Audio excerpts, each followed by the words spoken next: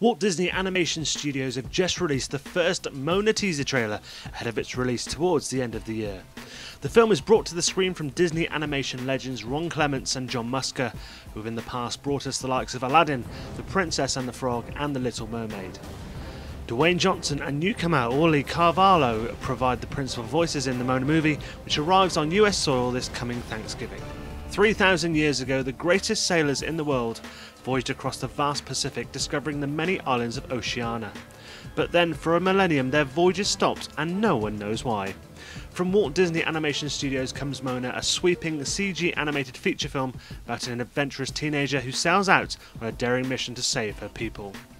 During her journey, Moana meets the once mighty demigod Maui, who guides her in her quest to become a master wayfinder. Together, they sail across the open ocean on an ocean packed voyage, encountering enormous monsters and impossible odds along the way. Moana fulfills the ancient quests of her ancestors and discovers the one thing she always thought her own identity.